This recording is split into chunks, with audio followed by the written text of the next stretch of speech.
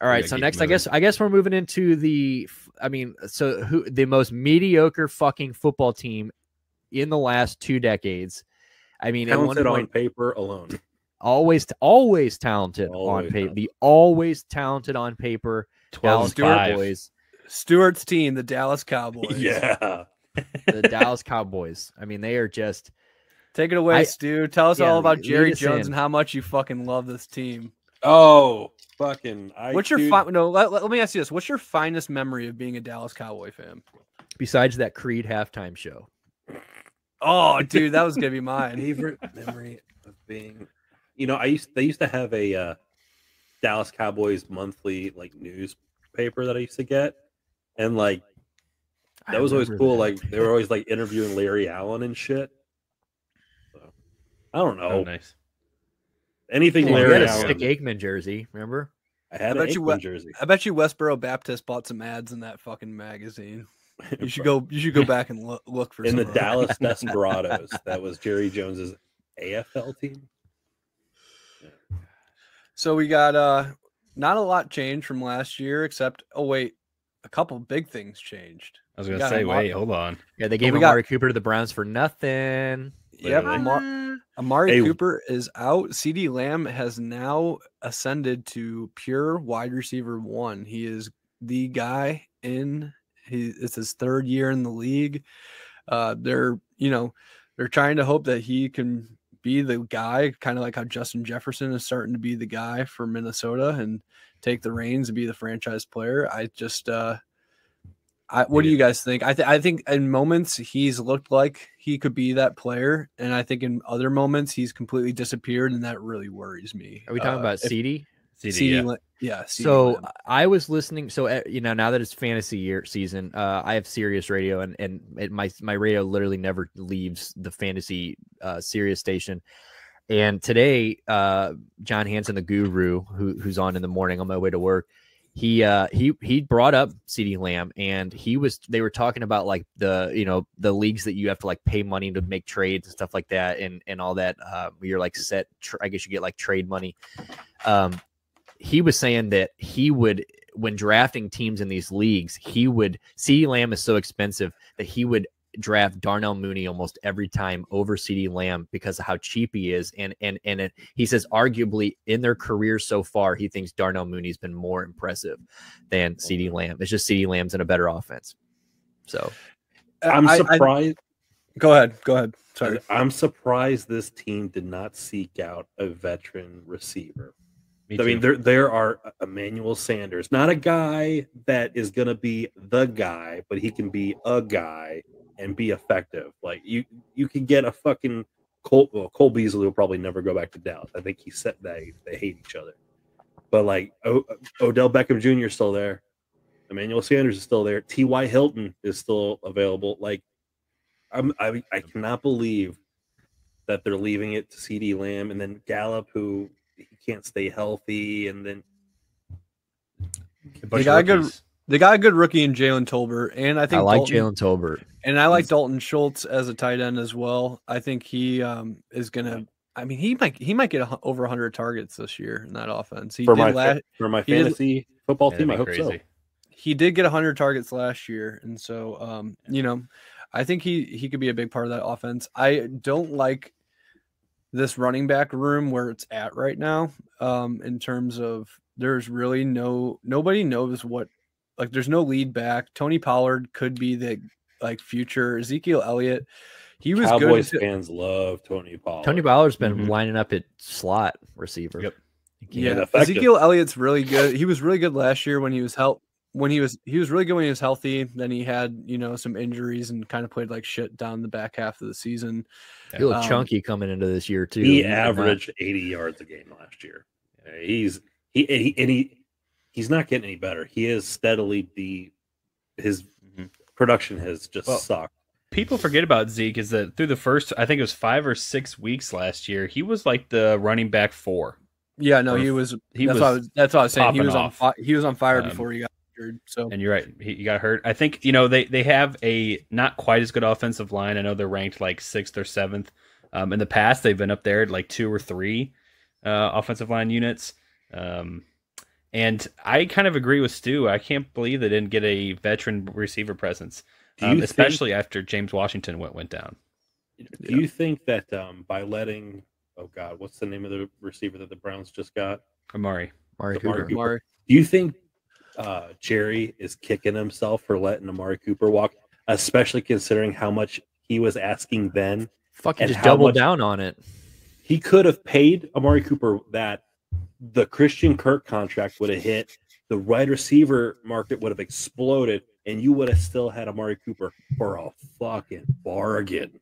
Yeah. Yeah. Well, he just doubled They're down on it. I mean, he was the one that just said, you know, his availability and just kind of shit all over Amari a week ago in that interview. I mean, so I mean, I'm not, I'm not, I'm not saying Amari Cooper. Is, I mean, I, I do think there are concerns about Amari Cooper, and I do see why a team would move on from him. I'm not saying it's gonna. Like, I still think he has a lot of productive years in him, but I don't think it's like a guarantee that he's going to be, you know, a really high quality wide receiver in Cleveland either. So yeah, they um, gave him up for nothing. Yeah, they did. Yeah, yeah they know. No, no I, there was definitely dog shit. It's I think it's gnarly to see a guy like Jerry who has historically he's always been down to open up the wallet and you know pay the big yeah. bucks to get the marquee guys.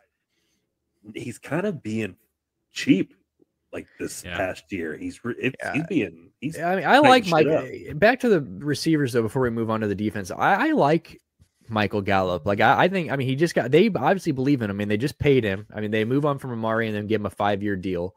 Yeah. Um, you know, he he proved the last year, like when he was healthy, I mean, he looked damn good. Um, you know, mm-hmm. uh, he. I think he. I definitely agree that they should have brought in like a. Uh, like a veteran presence, but I, I do think that like the, the, on paper, I mean, Lamb Gallup had, Tolbert is is pretty good. Ga- Gallup had moments last year where he was outshining CeeDee in a lot. Oh, absolutely, yeah, yeah, absolutely. You know, like yeah, there was there there would be quarters that would go by. I'd be like, where the fuck was CeeDee Lamb that quarter? Because yeah, Michael right. Gallup just caught six passes. Right. He's a he's a big dude. Michael's a big dude. He, he's great, kind of you know running down the sideline, coming across the middle too on slants. I mean, um, he fits in that offense well, and they're really going to need him to do that. I could see Gallup sliding right into what Amari was doing last year. Are, are you going to? Um, what, what was their offensive line ranked? Uh, six right now, six. and it's um, not okay. going to get better. That offensive line is yeah. old. Yeah. Well, they were undefeated in that. Well, so they were they were twelve and five last year, undefeated in the division. So I mean, they they are they are definitely uh, I said earlier, I think Philadelphia wins this division, but I think, you know, obviously coming into this year, I think Dallas is probably the team to beat. You know, I think yeah. Dallas yeah. is the team to to overcome. Um, but but the defense, you know, they they have a good defense. Um, they just lose out on Randy Gregory on like almost kind of almost in kind of like funny fashion. But you know, he ends up in Denver. Mm-hmm. Um, but you know, they have they that doesn't take. I mean, they've got the the, the best probably maybe the best linebacker in the league already. Um, if it, definitely the best young linebacker, Micah Parsons, and I would, I mean, love for somebody to argue that. Um, the guy is just a fucking stud. Um, Trevon Diggs is an animal. Um, Demarcus Lawrence is, you know, hit or miss. Leighton uh, Vander Esch is a Leighton stud. Vander Esch is a stud when he's, when, when he's healthy. Um, gotta and, love anybody that rocks the fucking the goddamn neck brace things. And I, I, think roll. I neck roll. I, I read alert earlier today that Anthony Barr just passed his physical. Anthony Barr passed a physical today. Uh, Micah so Parsons, they got him back. lining up at they got him lining up at, at, literally at all three phases of the defense. I don't know if you yeah. saw, but he was he was fucking around playing cornerback, just like playing around. Uh, he can do it all. Um, I think the problem with this defense for me is that they're beatable simply absolutely. because that right cornerback Trevon Diggs, he he literally either gets an interception or he gets burned. Right. And there's almost no in between. Um, you kind of have a weak uh, defensive line too. I mean, yes, Demarcus is there, but um, Armstrong and, and Gallimore, okay, you know they're they're they're serviceable, um, but definitely linebacker. Anthony, heard that name in a while. Anthony Brown is serviceable. I tell you what, they're going to test Trevon Diggs early in the season. Why there's would gonna be not? there's going to be teams that are going for that side of the field. Dude, I mean, who gets he got burned by a fucking UDFA day. and then deleted his Twitter. okay. Yep. so they also stop and go. They also lost. Uh, they lost Randy Gregory defensive. That's what I say. Yeah, that's it. They lost him to, to Denver. Yeah, um, so good. And and they, which was kind of funny because like they they thought he was gonna because then they they he was gonna resign there. He said he was gonna resign there, and then he changed his mind and went to Denver. yep. Hey, I would have too. I don't blame you, Randy. I know you guys. Uh, a good spot for him. I know yeah. you guys are really into the special teams too. Uh, oh, Greg yeah. the leg obviously was also. Uh, yeah. We learned la- we learned last, or was the week be- two weeks ago that he went to the Jets. So yeah. So now we've got Bryan Anger. Tony never heard of him returning kicks. Dude, and look at that former uh, Rams Pro Bowl long snapper Jake McQuaide. Jake McQuaide, baby, look wait, at wait. him. What's the name of their kicker? Lirim Hajrullah. Hajrullah? Hajrullahu? Not even gonna Hajrullahu. Oh, I'll, I'll have to have. uh He's better. He's good enough to have Brett Maher second string. So, do they really have um Pro Bowl selections for long snappers? Yeah. Wow. Yeah.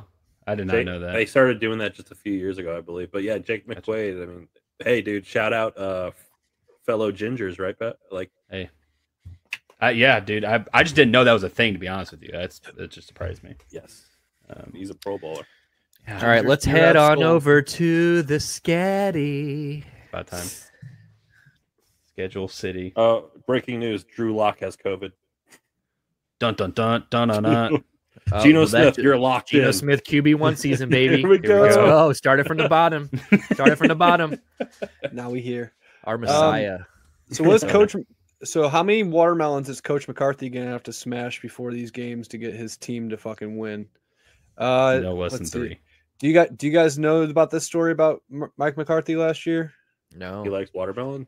He, to, to pump his team up before a game, he fucking smashed a watermelon. He like, like he's fucking the, Gallagher like Gal, he you know he totally got Gallagher thing. He like brought them out into a conference room at the hotel they were staying at, and it was like during a losing streak, and he literally took a hammer and smashed watermelon. So he broke out the sledge-o-matic. Pep, can you he, scroll down a little bit? He's oh, the biggest fucking loser in the world. Um, Mike McCarthy fucking sucks. I can't. God, that dude yeah, got that, carried in Green Bay. Yeah, I didn't know that. So I'm counting. I'm looking at this. I'm, I'm counting up wins. So I got four. I got they're four and four to buy for me. Is what I've. Got. Okay, I take it back. Prime Video has one good game, and it's the Cowboys at Tennessee. There it is on Christmas. 29th. Yeah, or right after Christmas. Right after Christmas. So that's that should actually be a pretty. Oh, look at that! Eagles, wow. Cowboys. I will. Christmas. I will Eve. be. I will be there, but I will not be That's paying one hundred and seventy-two dollars for that four, ticket. Four. I'm actually surprised with where I ended up with with with Dallas. To be honest with you, four, five, um, five, I'm looking about nine, nine and eight, eight, eight and nine, somewhere Ooh. right around five hundred. That's tough. Yeah, that's you know that's that's my opinion. Uh, I, you got some tough games in there. I think there's some um, very winnable ones after the. I call this an eleven and six team. Yeah, eleven. So I'm looking at four four. So I got man, Jake. I'll, uh, dude, I will take that, Jack, for sure. You think I was a little low with nine? Yes this is going to be a competitive. There's two teams that are going to win this yeah. division: the Cowboys, the Eagles. Yeah, I, I say it's nine So I got. I don't. So I don't think I don't have eleven. I have ten. I don't. So I, yeah, I think they're four and four at the bye week, and I think they can beat New York, Houston, uh, Jacksonville, Washington, maybe, and then Indianapolis is like the and I guess if you want to give one of the Philly games too, so yeah, I guess I can see ten or eleven wins. But I, yeah. I, think nine, nine or ten wins is more realistic. Eleven is the ceiling. I think they could beat Philly or Tennessee. Like I, yeah. I, I well, they're, they're not, they're, yeah, they're not going to beat Philly twice though. Yeah, probably not. I had him split with Philly. Yeah, yeah, um, for sure. So yeah, yeah so this would be a, this would be okay. a pretty good this would be a pretty good Cowboys team for Cowboys yeah. standards. Cowboys. They'll, they'll they'll make a their annual first round exit, and you know That'll be the Cowboys win every divisional game last year, though. Yeah, so yeah, earlier I said six and zero oh in the division last year. Right, right. right. So, okay, yeah, yeah, they'll split with the Eagles for sure. Yeah, they'll split with the Eagles. Uh,